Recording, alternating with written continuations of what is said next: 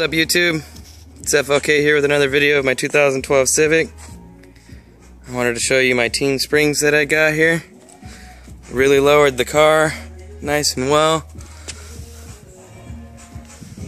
Love it. The ride is still very smooth. Couldn't get a better better lowering spring. Of course, I would have loved to get the coilover kit they have for it, but I will when uh, I decide to get new rims and tires. Alright, well tell me what you think. Along with this, I got a uh, fog lights coming with the billet grill getting cut out to match the uh, the grooves next to the fog light. And I also got a short ram intake. Might as well show you guys. Go ahead and pop the hood here. Show you guys the uh, short ram. There's my short ram paying in. Really increases the horsepower. About 10 horses, 9 foot-pounds of torque extra.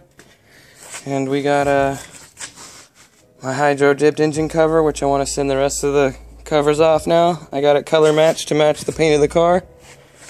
Really adds a nice look to it. Let me know what you guys think. I'll let you guys know when I get my fog lights in and stuff.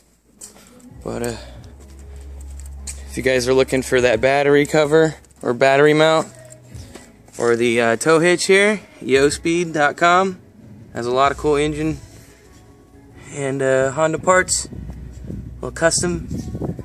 This is where I got the uh, license plate frame as well.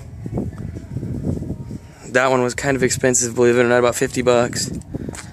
But uh, nice look here with the Tein springs. Have some plasti dip here to hopefully plasti dip my rims soon and get the factory body kit installed. Again, let me know what you guys think. Thanks for watching. My 2012 Civic Coupe SI. Tinted overlays, billet grill, short ram, Tein springs. More to come, guys. I want to get a Greddy exhaust and uh, progress rear sway bar here soon with the tie bar. So I'll definitely keep you guys posted.